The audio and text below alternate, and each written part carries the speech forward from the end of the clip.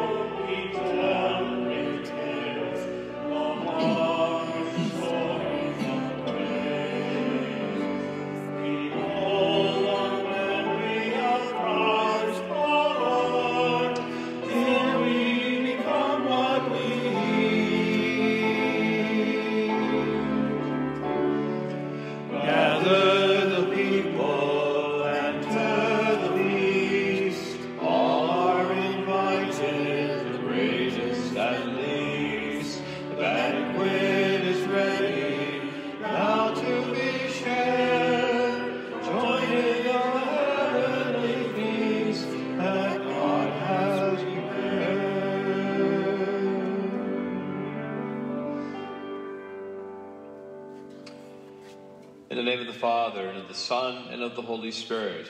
Amen. The Lord be with you. And with, with your spirit. spirit. Sisters and brothers, as we gather for this feast this morning, we remember all our mothers enrolled in our Mother's Day Novena.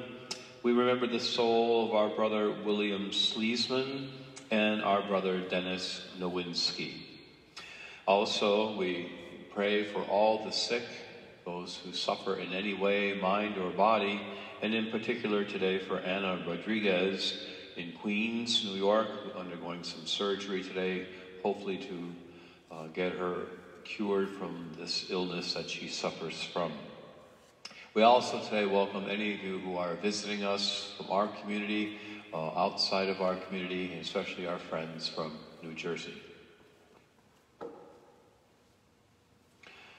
As we gather today, let's take a moment, as we do each time, to recognize our unworthiness to be around the table of the Lord, but to recognize, more importantly, God's great mercy, and God's love for all of us.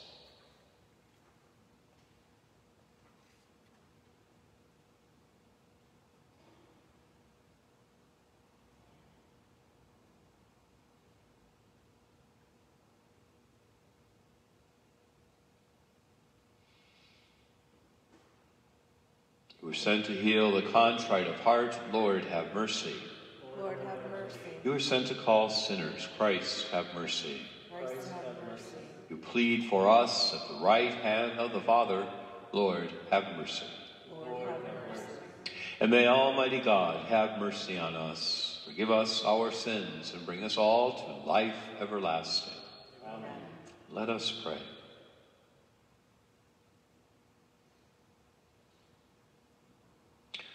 O God, restorer and lover of innocence, direct our hearts, the hearts of your servants, toward yourself, that those you have set free from the darkness of unbelief may never stray from the light of your truth. Through our Lord Jesus Christ, your Son, who lives and reigns with you in the unity of the Holy Spirit, one God, forever and ever.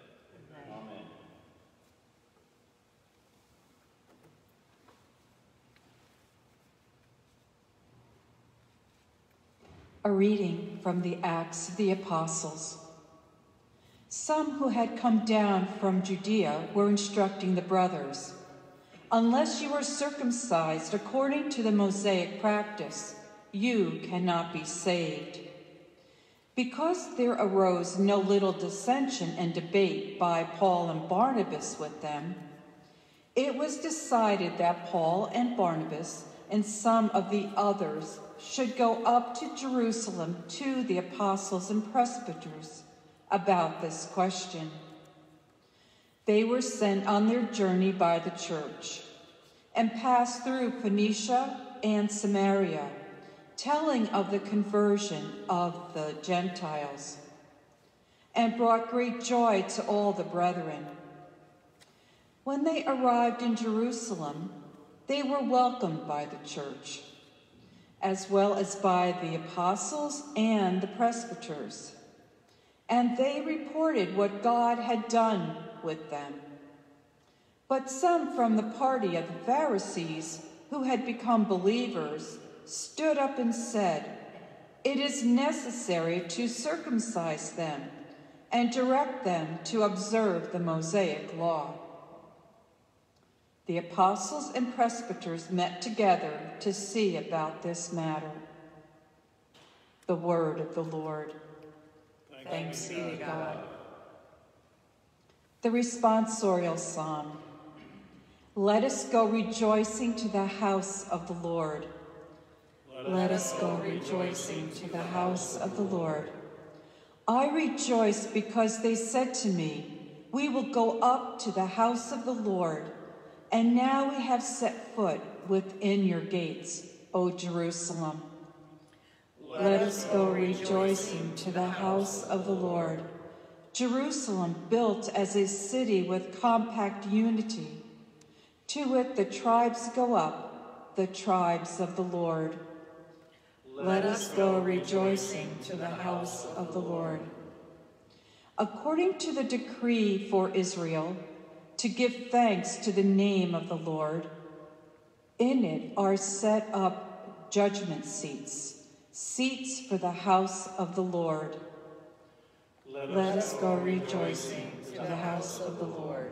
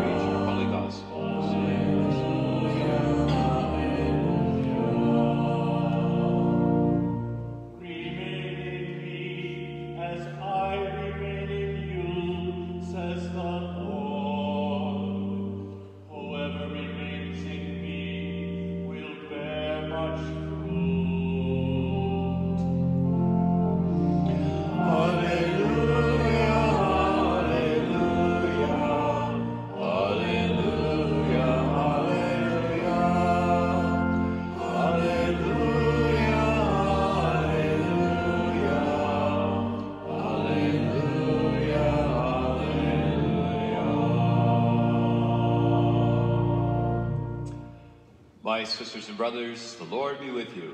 And with your spirit. A reading from the Holy Gospel according to John. Glory to you, O Lord. Jesus said to his disciples, I am the true vine, and my Father is the vine grower. He takes away every branch in me that does not bear fruit, and every one that does bear fruit, he prunes so that it bears more fruit. You are already pruned because of the word that I spoke to you. Remain in me as I remain in you. Just as a branch cannot bear fruit on its own unless it remains on the vine, so neither can you unless you remain in me. I am the vine, and you are the branches. Whoever remains in me and I in him will bear much fruit, because without me you can do nothing. Anyone who does not remain in me will be thrown out like a branch and wither, and people will gather around them and throw them into a fire, and they will be burned. If you remain in me and my words remain in you, ask for whatever you want, and it will be done for you. For by this is my Father glorified, that you bear much fruit and become my disciples. The Gospel of the Lord. Praise, Praise to to you, you, Lord Lord Jesus Jesus Christ. Christ.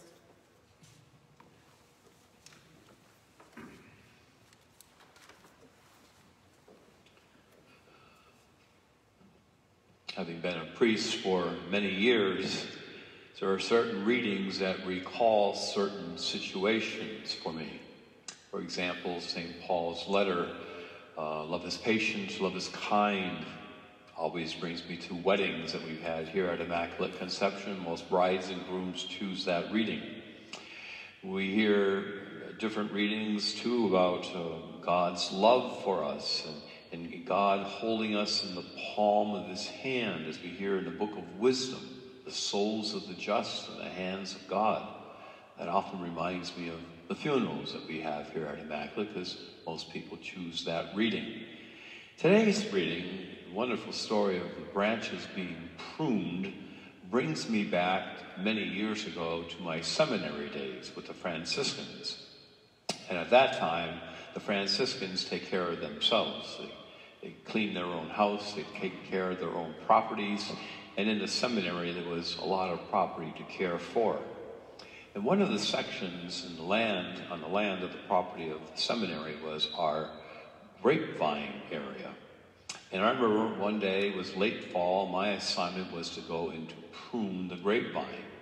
And so I had these little scissors and I was just taking the little ends off the grapevine and, you know, pruning it for next year. But one of the sisters who worked for us, many sisters worked for us in the kitchen, uh, etc., she came out. She was from Italy. And she was only about five foot two. And she came out with these big shears and she says, This is how it's done. And she started trimming that grapevine almost down to the ground. I couldn't believe it. I said, Oh gosh, I bet she's going to kill it.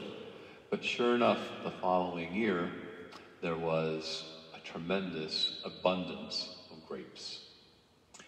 It always struck me that this reading reminds us that in our lives, we all need to be pruned.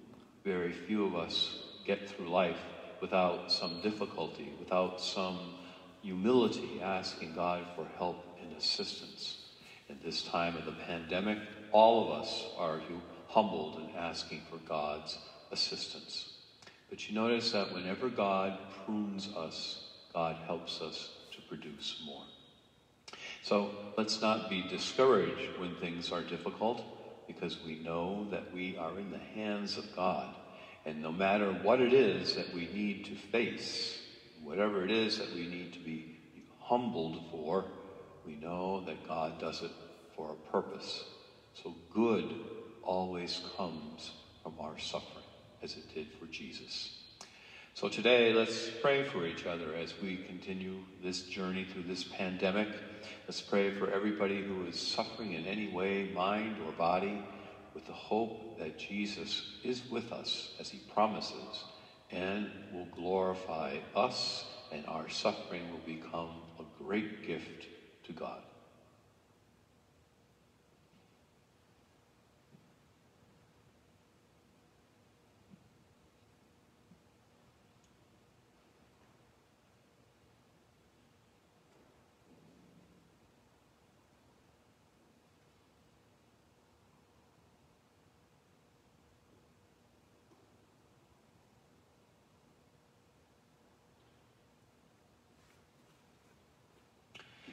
And together we stand and present our many needs and concerns to our God.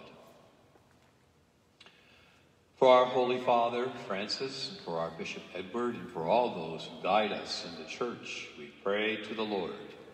Lord, hear our prayer. For all our civil officials, that they may be men and women of peace and justice, we pray to the Lord. Lord, hear our prayer. For the sick, for those who suffer in any way, that their suffering may be experienced and accepted and presented back to God. We pray to the Lord. Lord, hear our prayer. Our doctors, our nurses, and all those who help us, especially during this time of the pandemic, that they will be greatly blessed for their generosity. We pray to the Lord. Lord, hear our prayer. For the church, that she may receive more vocations, we pray to the Lord. Lord, hear our prayer. On this special feast of Our Lady of Fatima, we ask her intercession to help all of us through this pandemic. We pray to the Lord. Lord, hear our prayer. For those gone before us in death, the members of our families, our parish community here at Immaculate Conception, our sister communities of Our Lady of Grace and St. Joseph's, and especially today for all our mothers in our Mother's Day Novena, for William Sleesman and Dennis Nowinski, that they may be receiving the promise of heaven. We pray to the Lord Lord, hear our prayer. for all the intentions in our prayer basket by the feet of the Blessed Mother, and for Anna Rodriguez during her time of healing, we pray to the Lord. Lord, hear our prayer. And let's take a moment to add our own needs in the silence of our hearts.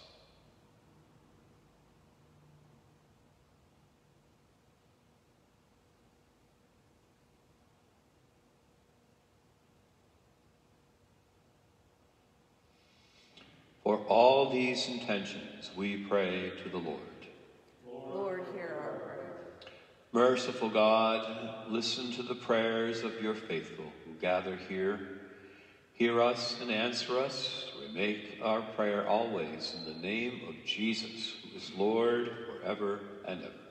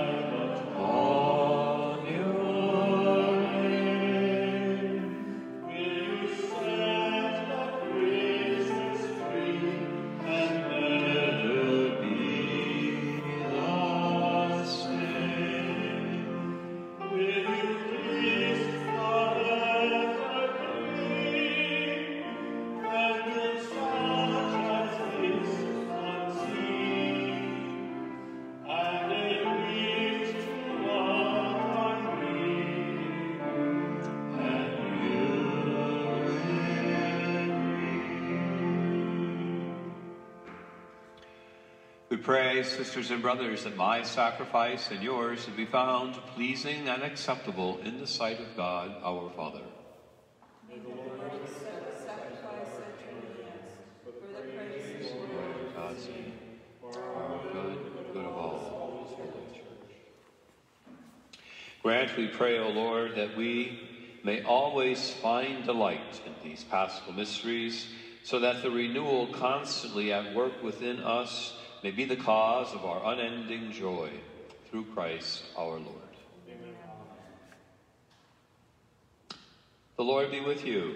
And with your spirit, Lift up your hearts, lift them up to the Lord. and let us give thanks to the Lord our God. It is right and just. It is truly right and just, our duty and our salvation, at all times to acclaim you, O Lord, but in this time above all to laud you yet more gloriously when Christ our Passover has been sacrificed. He never ceases to offer himself for us, but defends us and ever pleads our cause before you. He is the sacrificial victim who dies no more, the lamb once slain who lives forever. Therefore, overcome with paschal joy, every land, every people exults in your praise, and even the heavenly powers with the angelic hosts sing forever the hymn of your glory, as together they acclaim.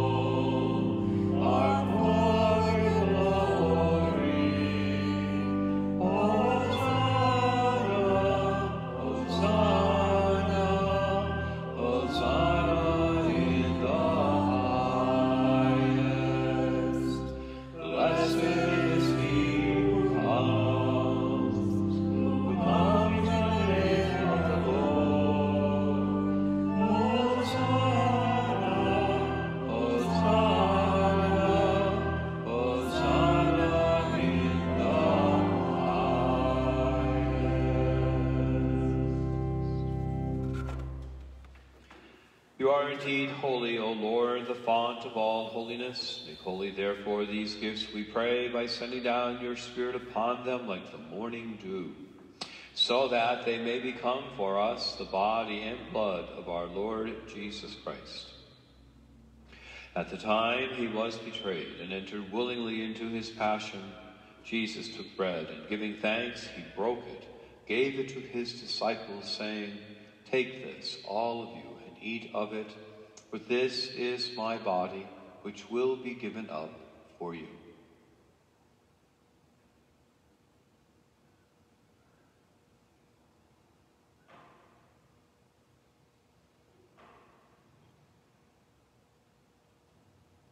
In a similar way, when supper was ended, Jesus took the chalice, and once more giving thanks, he gave it to his disciples, saying, Take this, all of you, and drink from it, for this is the chalice of my blood, the blood of the new and everlasting covenant, which will be poured out for you and for many for the forgiveness of sins.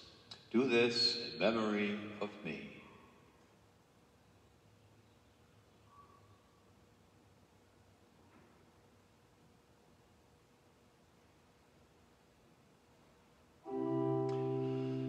The mystery of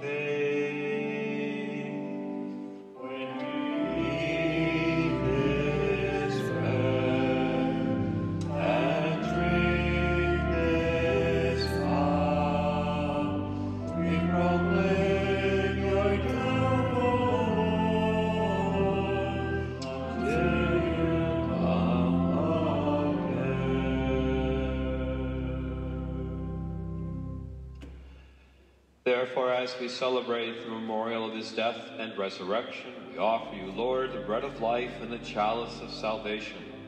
We thanks that you have held us worthy to be in your presence and minister to you. Humbly we pray that partaking of the body and blood of Christ, we may be gathered into one by the Holy Spirit. Remember, Lord, your church spread throughout the world and bring her to the fullness of charity. Together together with Francis, our Pope, Edward, our Bishop, and all those who serve the Church. Remember also our sisters and brothers who have fallen asleep in the hope of the resurrection, and all who have died in your mercy. Welcome them into the light of your face. Have mercy on us all, we pray, that with the Blessed Virgin Mary, Mother of God, with Blessed Joseph, her devoted spouse, with the apostles and all the saints who have pleased you throughout the ages, we may merit to be co-heirs to eternal life, and may praise and glorify you through your Son, Jesus Christ.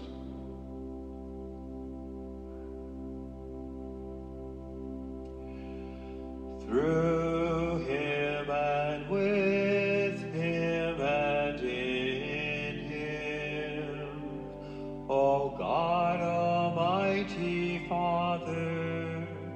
in the unity of the Holy Spirit, all glory and honor is yours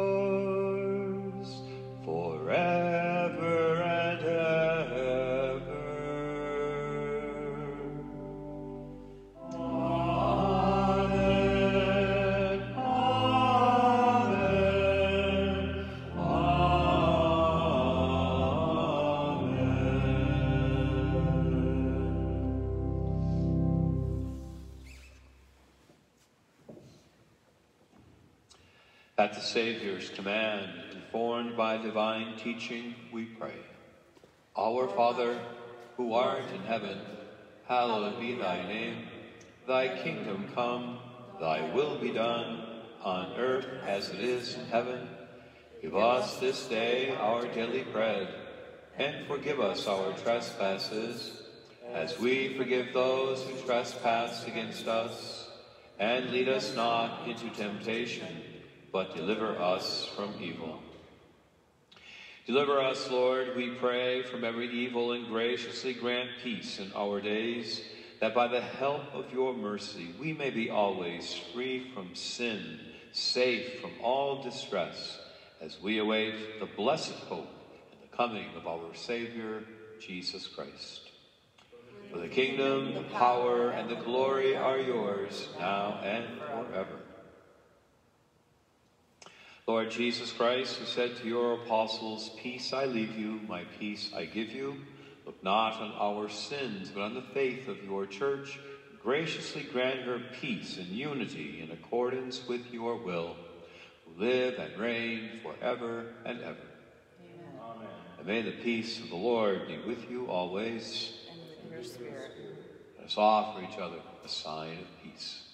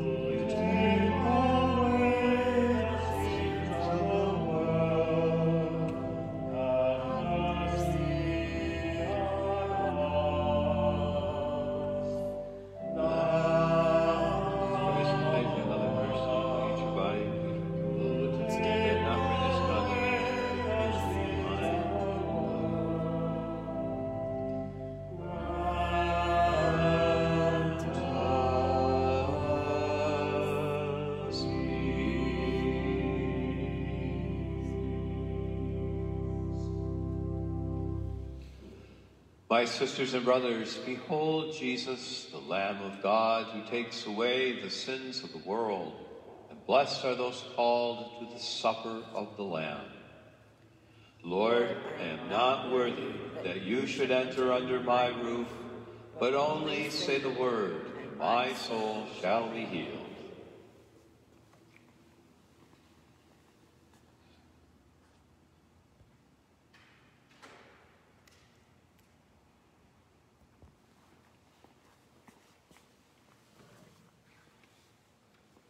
Please join with me in saying the prayer of spiritual communion.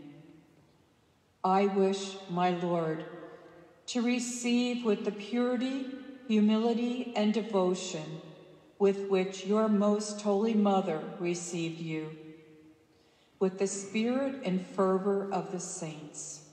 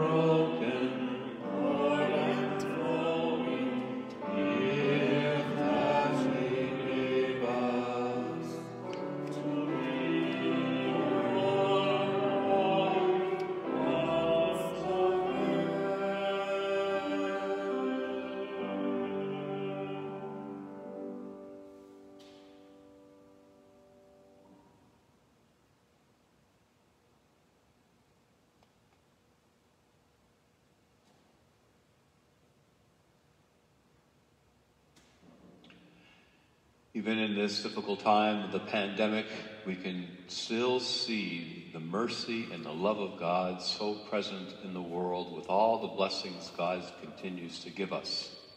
Yesterday, our community was blessed once again with its newest member, little Abigail Nally, fourth child of Mary and Joseph Nally was born.